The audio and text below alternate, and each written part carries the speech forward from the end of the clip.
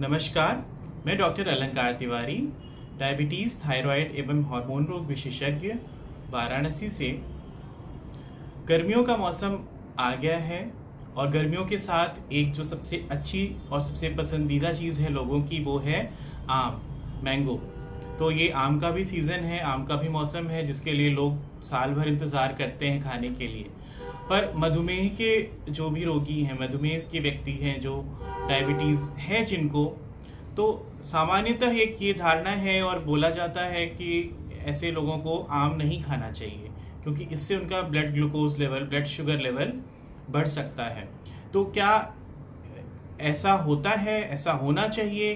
क्या उन्हें हम पूरी तरीके से वंचित रखें आम से? लेकिन ऐसा नहीं है।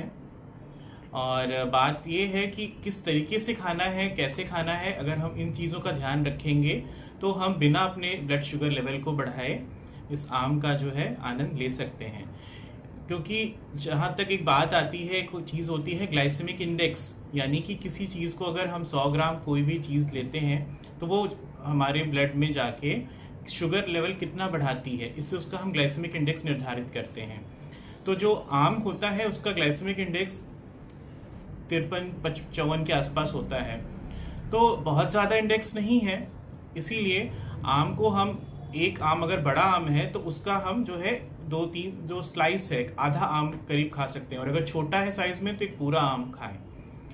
और कब खाएँ, ये चीज़ बहुत मायने रखती है। तो कभी भी जो आपका मेजर मील है, यानी जो आपका मेन आहार है, प्रमुख आहार है, जैसे उनकी सुबह का नाश्ता है, दिन का खाना है और रात का खाना है, उसके साथ न आम को कभी ना खाएँ। बल्कि बीच का जो समय है, जैसे अगर सुबह में ग्यारह, साढ़े ग्यारह का बजे का टाइम या शाम को जो समय है, साढ़े पाँच छः का टाइम यानी दो मुख्य आहार के बीच का जो समय है, उसमें आप आम को खा सकते हैं। आम को कभी, और इसको आम को रॉ खाएँ, यानी कि काट के सीधे फल के तौर पे खाएँ, इसको शेक बना के मिल्क शेक मैंगो शेक या इस तरीके से चीज़ों में, या इसमें चीनी मिलाएँ, या कुछ और चीज़ों को मिला के ना लें। उसको सिर्फ़ आप आम को खाएँ। और इसके साथ कोई और ऐसी चीज़ मत खाएँ जिसमें कि कार्बोहाइड्रेट कंटेंट ज़्यादा हो। तो सिर्फ़ आम को खाएँ, क्योंकि आम खाने के अपने खुद के भी फ़ायदे हैं। एक फल के रूप में इसमें रेशे यानी फाइबर्स बहुत होते हैं, जो कि शरीर के लिए बहुत लाभदायक होते हैं। बाकी के भी विटामिन मिनरल्स केमिकल्स होते हैं, जो कि आपके शरीर के लिए फ़ायदेमंद हैं। तो आ, आ, आप आम का स्वाद जो है इन गर्मियों में बिल्कुल ले सकते हैं बस थोड़ी सी जो है अपनी चीज़ों को अपने इन बातों को ध्यान में रखते हुए। और हाँ दूसरी सबसे बड़ी बात और सबसे ज़रूरी चीज़ है कि इस टाइम पे आपका ब्लड ग्लूकोज लेवल नॉर्मल होना चाहिए। यानी अगर आपका ट्रीटमेंट इलाज चल रहा है शुगर का तो शुगर लेवल नॉर्मल रेंज में हो तभी आप आम का सेवन करें। अगर बढ़ा हुआ है तो फिर ना ही करें। और हमेशा हर चीज़ के लिए अपने डॉक्टर से एक बार सलाह ज़रूर ले लें।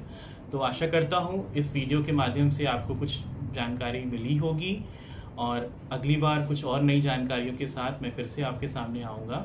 नमस्कार।